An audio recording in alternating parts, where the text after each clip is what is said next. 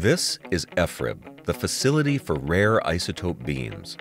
An international community of scientists will use it to explore the mysteries of nuclear structure and the cosmos, and to make discoveries for a better world. This one-of-a-kind facility is part of Michigan State University, selected by the U.S. Department of Energy Office of Science to build and lead. With an investment of more than $700 million from the DOE, MSU, and the state of Michigan, FRIB will be the nation's premier center for rare isotope research. Since 1958, MSU has been known for its innovations in nuclear science, making an impact in the United States and around the world. In fact, Michigan State's nuclear physics graduate program has ranked number one since 2010 and the university awards about 10% of the nation's nuclear science doctorates. That makes FRIB an important part of educating the next generation of scientists. FRIB is a discovery machine.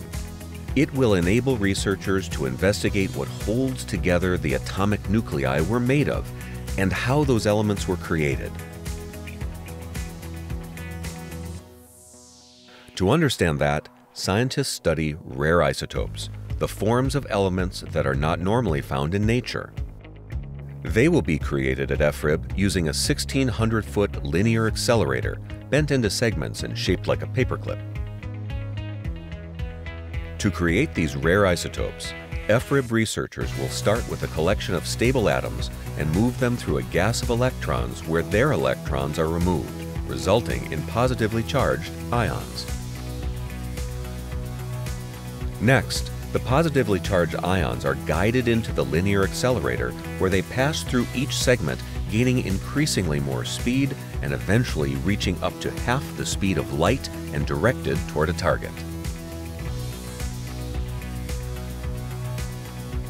As the stream of ions strikes a target, the resulting collisions cause the ions to lose or gain neutrons or protons and become unstable, thus producing thousands of different types of rare isotopes, sometimes highly unstable and existing only fractions of a second.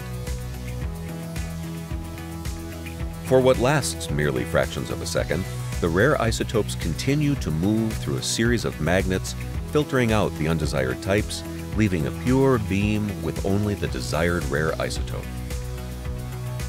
FRIB has the unique capability to offer researchers fast, stopped, and reaccelerated beams, allowing experiments at the desired energy for all available rare isotopes. Because of this, scientists from across the globe have the ability to explore these universal building blocks going deeper into critical, groundbreaking research and finding the keys to unlocking the inner workings of the atoms that make up the universe. FRIB will provide researchers with more than 1,000 new rare isotopes never before produced on Earth.